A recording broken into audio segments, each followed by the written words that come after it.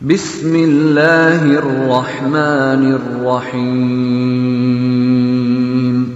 Rabbi hub ली हुक्मन व अलहिqनी बिस्सालिहीन अऊज़ुबिल्लाहिमिनश्शैतानिर्रजीम बिस्मिल्लाहिर्रहमानिर्रहीम। Rabbi इश्रह ली सदरी व यस्सिर ली अमरी। वहलुल उक़दतम मिन लिसानी यफ़क़हू क़ौली। हमारा जो आज का ये वीडियो सेशन है इस पे मैं एक दो पॉइंट्स पर गुफ्तु करना चाहता हूँ। स्पेशली जो तहरीक लब्बैक है, इसके ऊपर हमने आज से तकरीबन डेढ़ साल, लगभग डेढ़ साल पहले हमने वीडियो बनाई थी, जिसमें हमने एक्सप्लेन किया था कि इनके मकासद जो हैं, वो मुल्क में इंतशार फैलाना और नफ़रत फैलाना।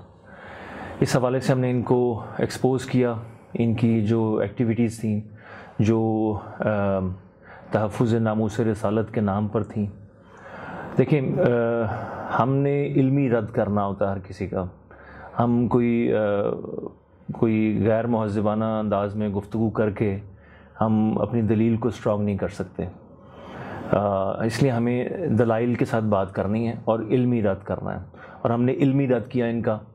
आज से तकरीबन डेढ़ साल पहले हमने क्लैरिटी में सारा रेफरेंसेस हमने दिए अहादीस से कि किस तरह हम दीन के नाम पर हम इंतशार नहीं फैला सकते, हम रास्तों को ब्लॉक नहीं कर सकते। हमने वो वीडियो क्लैरिटी में हमने सारी चीज़ें एक्सप्लेन की, वो आप वीडियो देख लें।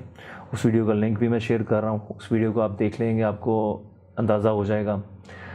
चूँकि दूसरी जो जमहूरी पार्टीज़ होती हैं, वो जमहूरीत के नाम पर सब कुछ करती हैं। लेकिन जो लोग दीन के नाम पर बाहर निकले होते हैं और दीन के नाम पर लोगों को इकट्ठा कर रहे होते हैं उन पर दीन के डूज़ एंड डोंट्स सबसे पहले अप्लाई होते हैं और उनको ये ये एक चेक करने का सबसे इजी तरीका है कि कोई भी पार्टी दीन के नाम से अगर आपको इकट्ठा कर रही है तो आप सबसे पहले देखें कि वो आया ख़ुद दीन पर कितना अमल कर रहे हैं। हमने क्लैरिटी में इनको बारहा डिफरेंट डिफरेंट वीडियोज़ में हमने डिफरेंट अदीज़ के साथ हमने एक्सप्लेन किया कि किस तरह एक मुसलमान दूसरे मुसलमान को काफिर नहीं कह सकता। किस तरह एक मुसलमान दूसरे मुसलमान को गाली नहीं दे सकता? हमने ये सब चीज़ें हमने यहाँ तक आदि शेयर की जिसमें ये बताया गया है कि हम शैतान तक को हम गाली नहीं दे सकते हम इबलीस तक को गाली नहीं दे, दे नहीं दे सकते।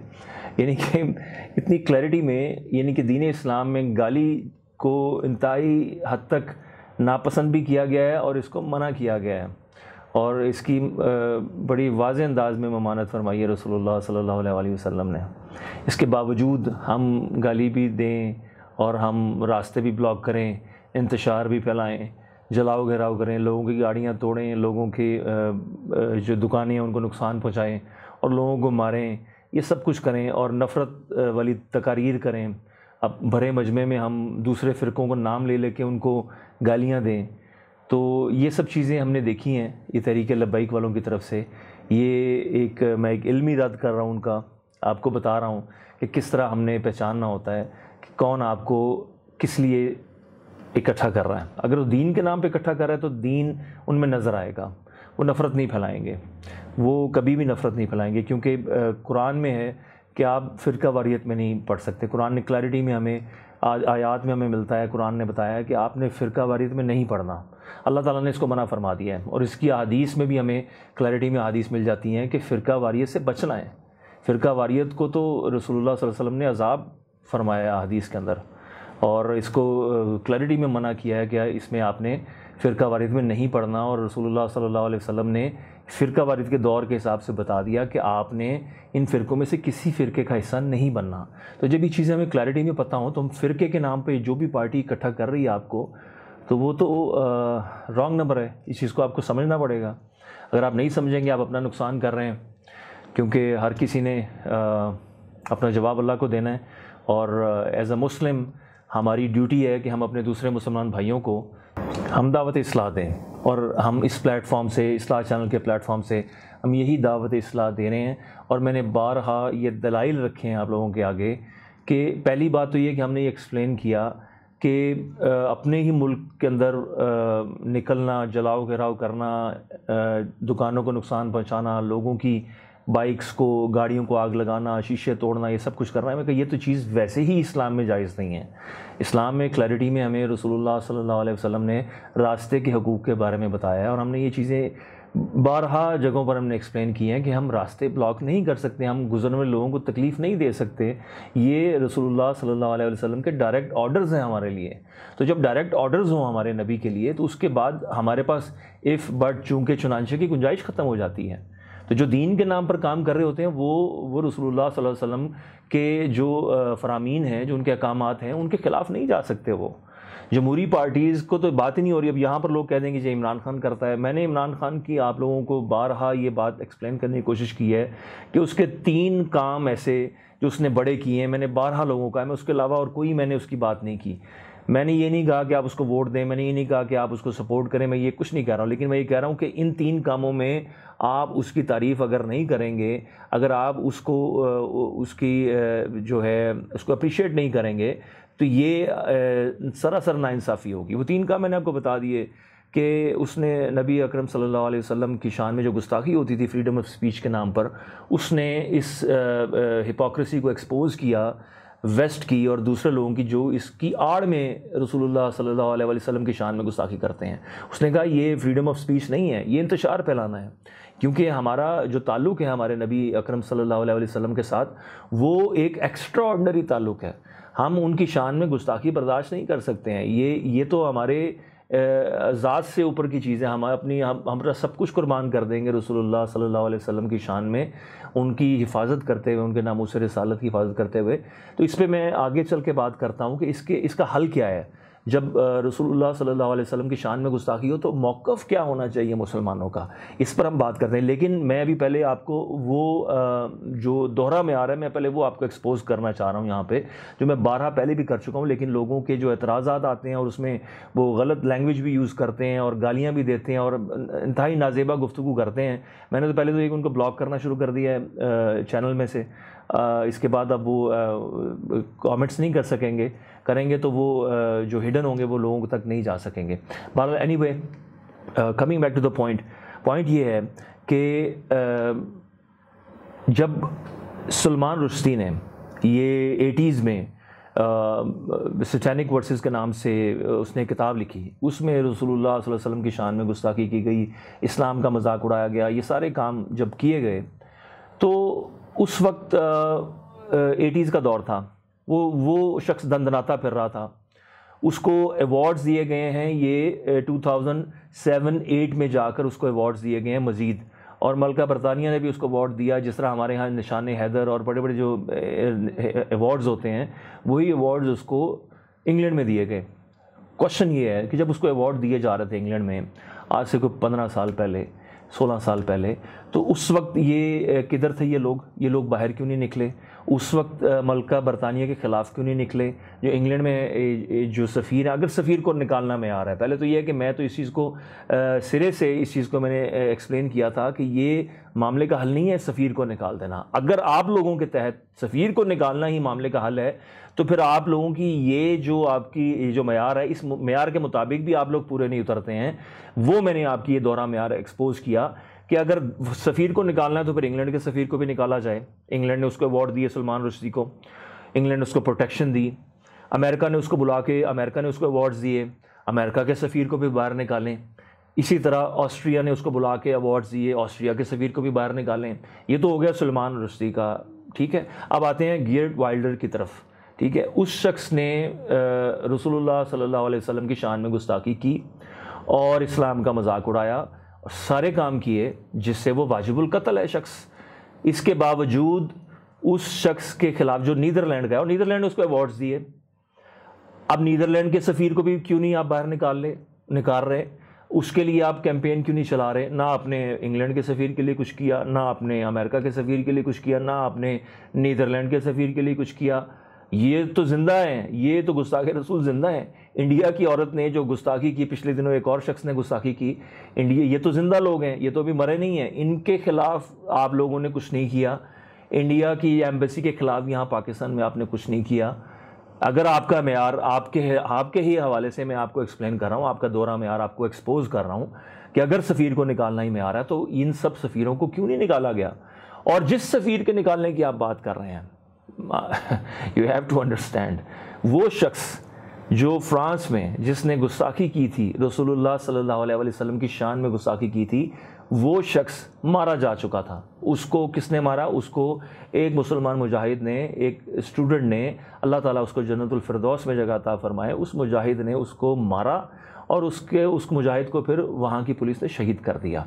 इन्ना राजून बहरहाल बात यह है कि वो तो जो उस्ताख था फ्रांस वाला वो तो मारा जा चुका था। फिर भी उसके बावजूद फ्रांस के सफ़ीर को आपने बाहर निकालना है। अब ये मंतक एक तो ये समझ नहीं आई। अगर इसको अगर आप थोड़ा सा इसको अगर आप आ, करेंगे आपके अंदाज में जो आप जिस तरह एक्सप्लेन करते हैं कि भाई चूँकि वहाँ के सदर ने उसको सपोर्ट किया, उसकी इस गुस्ताखाना रविश को सपोर्ट किया, इसलिए हम फ्रांस के ख़िलाफ़ हैं, इसलिए फ़्रांस का सफ़ीर निकालना चाहते हैं तो वही रविश को सपोर्ट तो मलका बरतानिया ने भी किया। वही रविश को सपोर्ट तो अमेरिका ने भी किया, और वो तो गुस्ताख ज़िंदा है। उसकी इस रविश को उन्होंने सपोर्ट किया और बड़े बड़े अवार्ड्स दिए। उनके ख़िलाफ़ नहीं कुछ करना आपने। ये इंडिया में जो कुछ हुआ मैं हैरान होता हूँ लोगों को लोगों लोगों को समझ नहीं आती कि सीधे सीधे two plus two is equal two four है। ये रॉन्ग नंबर आपके सामने है लेकिन इस रॉन्ग नंबर को आप पहचानना ही नहीं चाहते हैं क्योंकि आप ब्लाइंड फॉलोइंग में इतना आगे जा चुके हैं कि पीछे मुड़ना आप, आपके लिए मुश्किल हो चुका है कि नहीं हम तो इतनी आगे आ गए हैं how is it possible to turn back and go all the way back to सरात मुस्तकीम? जो सरात मुस्तकीम है हक का रास्ता है उससे तो आप दो लोग इधर हट चुके हुए हैं। ये आपको मैं समझाने की कोशिश कर रहा हूँ कि ये दौरे में आ रहे हैं, या आप लोगों के दौरे में आर को मैं एक्सपोज कर रहा हूँ बड़े अरसे से। लोग कहते हैं जी कि आप क्यों नहीं बाहर निकलते? मैं आपको ये बता रहा हूँ कि बाहर निकलने का मैं आपको बताता हूँ कि करना क्या चाहिए हमें, इसका हल क्या है, वो उस तरफ़ आते हैं। लेकिन मैं तो ज़ुबान का जिहाद कर रहा हूँ, आपको मैं दलाइल के साथ सारी बातें कर आपको मैं दलाइल के साथ सारी बातें कर रहा हूँ। तो बहरहाल आते हैं इस शख्स की तरफ़, जो कि मारा जा चुका था फ्रांस में। उसके सफ़ीर को आपने निकालना था। क्यों क्यों? क्योंकि फ़्रांस के सदर ने उसको उसकी इस रविश को सपोर्ट किया। तो भाई आ जाते हैं फिर फ्रांस के सदर की तरफ़ आ जाते हैं। फ़्रांस के सदर को सऊदी अरब ने बुलाया। सऊदी अरब गया। बड़े अच्छे तरीके से मिले जुले सब। सऊदी जो आल सऊद है। और बड़े डील्स हुई उनकी, उनके साथ। और उनमें बड़े बिज़नेस उनके प्लान्स सारा कुछ डिस्कस हुए। तो मेरा कहने का ये आप लोगों से सवाल है कि उस वक्त सऊदी अरब के भी सफ़ीर को फिर निकाला जाए फिर बाहर पाकिस्तान से। आप लोगों ने एहतजाज ही करना था ना? क्योंकि अगर सफ़ीर को निकालना मैं आ रहा है, चूँकि सपोर्ट किया जा रहा है उस उस शख्स को तो वो फ्रांस के सदर को भी अब जो सपोर्ट करेगा, फिर उसके सफ़ीर को फिर निकालें बाहर। अब सऊदी अरब ने किया, सऊदी अरब के सफ़ीर को बाहर निकालें। सऊदी अरब के ख़िलाफ़ एहतजाज करें, लेकिन नहीं हुआ। ये सब, और अभी रिसेंटली मौजूदा हुकूमत ने फ्रांस में अपना सफ़ीर तैनात कर दिया। अभी इसी महीने अगस्त में सफ़ीर तैनात किया गया है पाकिस्तान की तरफ़ से, जो कि पिछले काफ़ी अरसे से नहीं किया गया था, चूँकि वो जो मामला जब गर्म हुआ था पाकिस्तान का, फ्रांस का, और जब ये तरीके लबाइक वाले निकले थे तो इन्होंने वहाँ से अपना सफ़ीर वापस बुला लिया था। अब ये सफ़ीर को दोबारा तैनात कर दिया गया है। तो अब भी मौजूदा गवर्नमेंट के सामने निकलना नहीं चाहिए कि आप लोगों को? जलाओ, घराओ दोबारा। अगर आपके मैार के मुताबिक तो वो चीज़ दोबारा नहीं करनी चाहिए। बहरहाल, ये सारी दलाइल थे।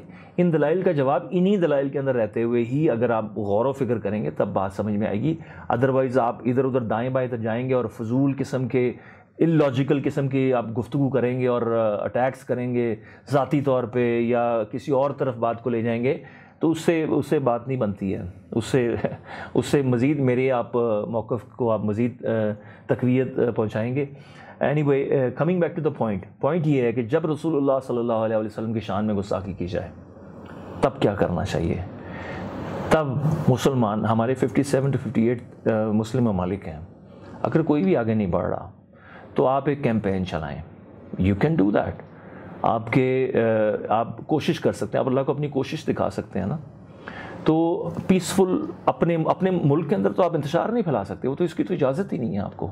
आप तो बल्कि जंगों में आप दूसरी, अगर किसी और की ज़मीन पर जंग लड़े, वहाँ के भी दरख्तों को और चीज़ों को नुकसान नहीं पहुँचा सकते हैं।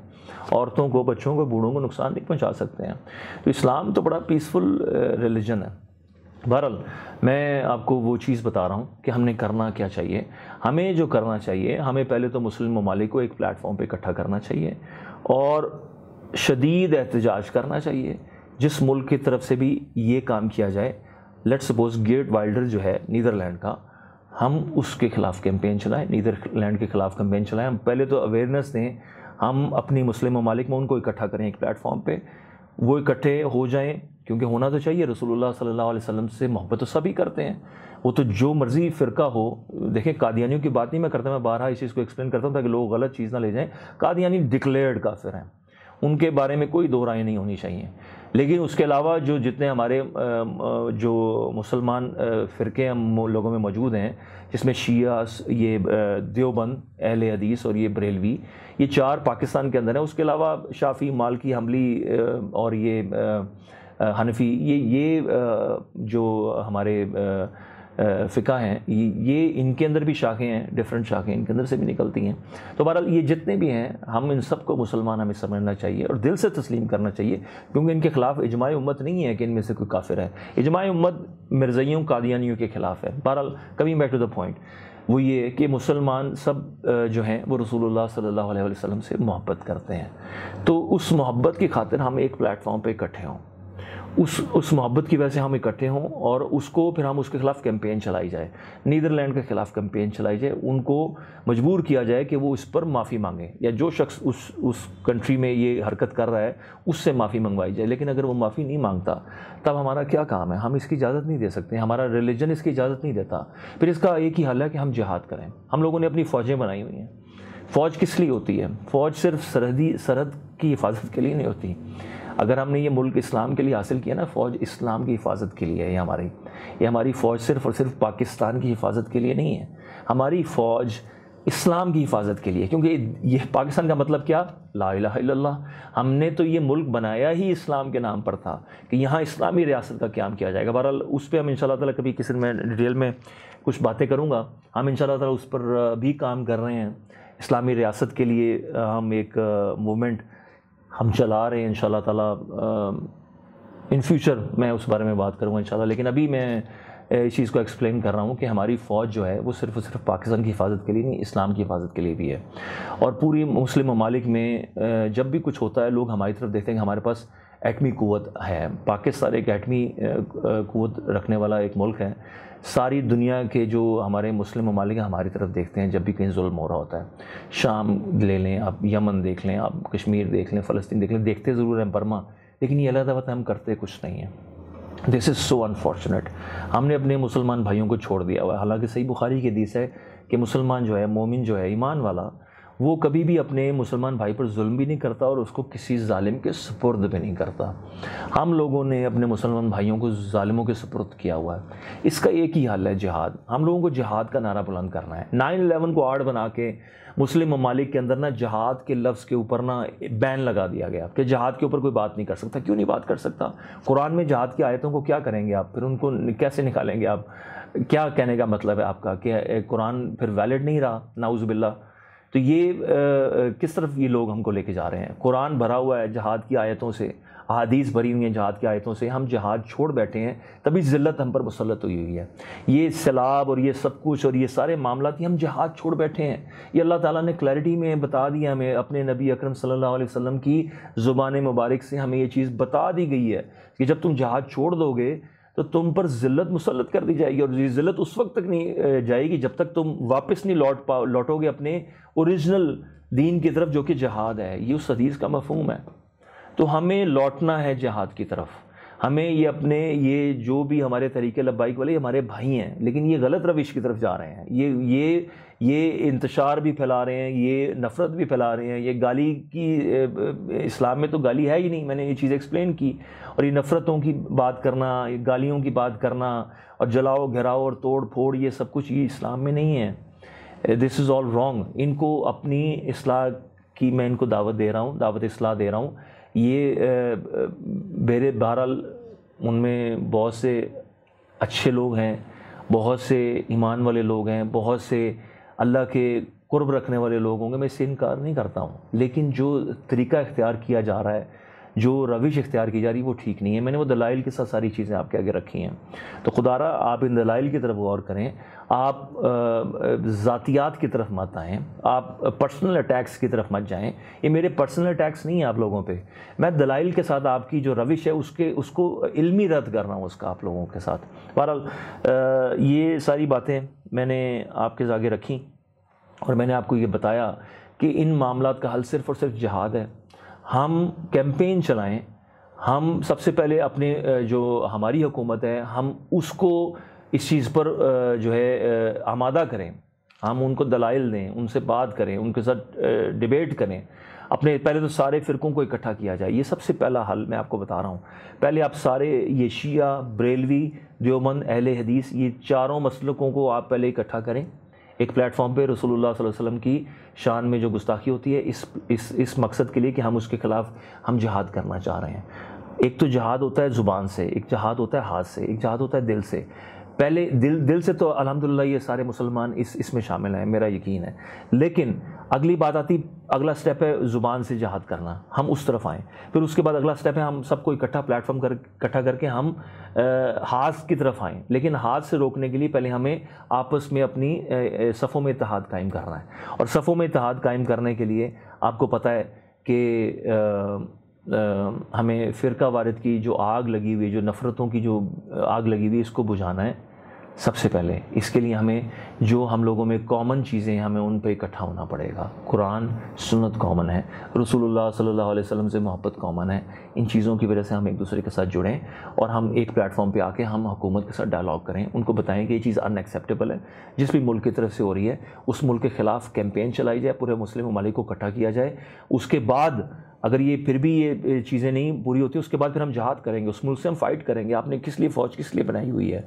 अगर इस्लाम का दिफा नहीं करना तो फिर तो ये सब तो ये तो ये तो ये तो ये तो हिपोक्रेसी है, ये तो मुनाफ्त है। फिर आप तो आप तो इससे बेहतर है कि आप आपका वजूद ही नहीं होना चाहिए फिर इस दुनिया में, आप, ये दुनिया की पूरी पूरी मकसद ही फौत हो जाता है कि जब अपने रसूलुल्लाह सल्लल्लाहु अलैहि वसल्लम की हम जब उनकी शान में गुस्ताखी और हम उसके लिए हम कुछ करें ना तो फिर तो सारी दुनिया का मकसद ही ख़त्म हो गया। फिर तो एवरीथिंग इज़ यूज़लेस तो इसलिए हमें इस चीज़ हमें होश के नाखून लेने होंगे। हमें जहाद की तरफ़ वापस आना होगा। हमें अगर मैं, ये तो हो गया रसूलुल्लाह सल्लल्लाहु अलैहि वसल्लम की शान में जो गुस्साही होती है, उसके ख़िलाफ़ का सारा आपको तरीक़ाकार बताया। अपने मुल्क के अंदर कोई हमने एक पत्थर भी नहीं किसी शीशे पर हमने मारना। हमने अपने मुल्क में कोई इंतशार नहीं फैलाना। ये मैं, वो आपको बता रहा हूँ जिससे अल्लाह की मदद आती है, अगर दीन के लिए अगर आप कुछ कर रहे हैं तो। जमहूरीत वगैरह, वो सब चीज़ें, इमरान खान ये सब की मैं बात नहीं कर रहा हूँ। मैं उन लोगों की बात कर रहा हूँ जो दीन के लिए कुछ करना चाहते हैं, जो दीनी जमाते हैं। वो दीन के लिए इकट्ठी हों। वो जहाद का नारा बुलंद करेंगे उससे जहाद की ज़रूरत है। आपके सामने फ़लस्तीन में जो जुल्म हो रहा है, यहूदियों का, क्या हमारा फ़र्ज़ नहीं बनता हम जहाद करें यहूदियों के साथ? कश्मीर में जो इंडिया जुल्म कर रहा है, क्या हमारा फ़र्ज़ नहीं बनता हम कश्मीरियों को आज़ाद करवाएँ? बर्मा में जो जुल्म हो रहा है, क्या हमारा फ़र्ज़ नहीं बनता हम बर्मा के हमारे जो मजलूम मुसलमान हैं, हम उनकी मदद करके जहाद करें ालमों का हाथ रोकें? ये सारे हमारे फ़र्ज़ हैं, जहाद आज हम पे फ़र्ज़ है। लेकिन हम एक दूसरे के साथ लड़ने में लगे हमें हम एक दूसरे के साथ उंगलियाँ उठाने में, तू काफिर तू काफिर तू काफिर, हम नफ़रतों के बीच बो रहे हैं। हालाँकि हमारे मुसलमान बहन भाई हमारी तरफ़ देख रहे हैं कि कब हमारी मदद की जाएगी। हमें उनकी मदद करनी है। और फौरी तौर पे करनी है और उसके लिए हमें आवाज़ उठानी है, उसके लिए हमें जद्दोजहद करनी है। ये हमारा मिशन है। इस दुनिया में आए हैं हम हम मिशन लेके आए हैं। हम इस दुनिया में पैसा कमाने नहीं आए हैं। We are not here to make money we are not here to do worldly things हम दुनिया में काम करने आए हैं दीन के लिए। हम दुनिया में इस्लाम को नाफिज करने के लिए आए हैं। हम दुनिया में खिलाफत का निज़ाम कायम करने के लिए और ये खिलाफत का निज़ाम कायम होगा। कुरान ने ये इस चीज़ का हमें यकीन दिलाया कि इस पूरी दुनिया में अल्लाह ताला दीन को गालिब कर देगा। और ये होना है it is yet to come लेकिन ये होना है। और ये हमें पता है हज़रत इमाम महदी के दौर में होगा। जहाद बड़ा करीब है, जो दौर बड़ा करीब है, लेकिन उसके लिए हमें अपनी सफ़ों में पहले इतिहाद कायम करना है। हम उस दौर के करीब है, हमें इसकी मूवमेंट के ऊपर काम शुरू कर देना चाहिए। क्योंकि जितनी जल्दी हम करेंगे, उतना ही फ़ायदा है, हमारा भी और हमारे दीन का भी। तो इसीलिए मैं दावत असलाह देता हूँ अपने तमाम मजहबी जमातें जो हैं, तमाम हमारे मुसलमान भाई, शिया, ब्रेलवी, देवबंद, अहल हदीस। मैं इन चारों अपने मुसलमान भाइयों को दावत देता हूँ कि एक प्लेटफॉर्म पे इकट्ठे हों, जहाद के नाम पे। और हमने यहूदियों से भी लड़ना है। आपको पता है खुरासान का लश्कर रेडी है। हमारा जो ये अफ़गानी मुजाहिदीन है हमारे। मैं आपको इमरान खान की जो बात बार बार करता हूँ क्योंकि दुनिया में वाहिद एक शख्स था जो एज अ लीडर जिसने अफ़गानी मुजाहिदीन को सपोर्ट किया। और मैं being an end of time student मैं ये समझता हूँ कि जो हक की जमात है इस वक्त, वो अफ़गानी मुजाहिदीन है। मजहबी जमातों में अगर कोई हक की जमात है इस वक्त, मेरे लिए नंबर वन वो अफ़गानी मुजाहिदीन है। तो इसलिए जो शख्स अफ़गानी मुजाहिदीन के साथ खड़ा है ना, मैं उसको अप्रिशिएट करूँगा। वो जो भी हो। मुसलमान हो और अफ़गानी मुजाहिदीन के साथ हो मैं उसको अप्रिशिएट करूँगा। वो कोई मक, को मतलब नहीं वो शहबाज शरीफ हो वो नवाज़ शरीफ हो वो इमरान खान हो वो कोई भी हो अगर अफ़गानी मुजाहिदीन के साथ खड़े हैं। अभी राना सनाउल्ला सनाउल्ला ने बयान दिया इंतहाई हद तक मुझे उसकी तकलीफ़ हुई। उसने कहा कि अफ़गानिस्तान जो है ये दुश्मन मुल्क है। इतना। और यहाँ तक कि पाकिस्तान की रियासत पे वो इल्ज़ाम भी लगा दिए गए जो दुश्मन मुल्क अफ़गानिस्तान ने भी नहीं लगाया। इतनी, यानी कि आप अपने काफिरों को खुश करने के लिए आप अपने, वो उस लश्कर को आप दुश्मन कह रहे हो, जिसकी बुशारतें रसूलुल्लाह सल्लल्लाहु अलैहि वसल्लम ने दी हैं हदीस में तो उनमें तो कोई शक ही नहीं है। ये जो अफ़गानी मुजाहिदीन है, ये इस वक्त हक का लश्कर है तो वो तैयार हो चुका है। हमने इसके साथ खड़े होना है। अगर तो हमने अपना फ़ायदा करना है अपनी कब्र का और अपनी आखरत का तो हमें अफ़गानी मुजाहिदीन का साथ देना है। हमें अफ़गानी मुजाहिदीन के साथ खड़े होना है। तो इसलिए हमें एक कैंपेन चलानी है मुल्क के अंदर। हमारी जितने भी मुसलमान भाई हैं, जितनी दीनी जमातें हैं, वो सब मिल के खड़ी हों और अफ़गानी मुजाहिदीन का साथ दें। और हमारी हुकूमत को ये इस पर एक्सप्लेन करें कि उनका साथ देना क्यों ज़रूरी है। ये हमारे अलैहि वसल्लम का फरमान है। हम एंड ऑफ़ टाइम्स में दाखिल हो चुके हैं। तो ये सब चीज़ें इस वीडियो का मकसद सिर्फ़ सिर्फ़ ये था। आगाही थी कि आगे हमें जिहाद करना है, जिहाद के लिए हमें इकट्ठे होना है और हमें एक दूसरे के साथ नफ़रतें इसे छोड़ देनी चाहिए और हमें जहाद के प्लेटफॉर्म पे इकट्ठा होना चाहिए। और ये सफ़ीरों को निकालना, ये ये सब इरेलीवेंट चीज़ें हैं। सफ़ीरों को निकालने से कुछ नहीं होगा। अगर निकालना है तो निकालने। बरतानिया के सफ़ीर को, अमेरिका के सफ़ीर को, नीदरलैंड के सफ़ीर को, इंडिया के सफ़ीर को, फिर तो सफ़ीर ही निकालते रहें आप। उससे क्या हो जाएगा? आपको एक इकट्ठे होकर आपको दुश्मन की आँखों में आँखें डालना है। सफ़ीरों को नहीं निकालना।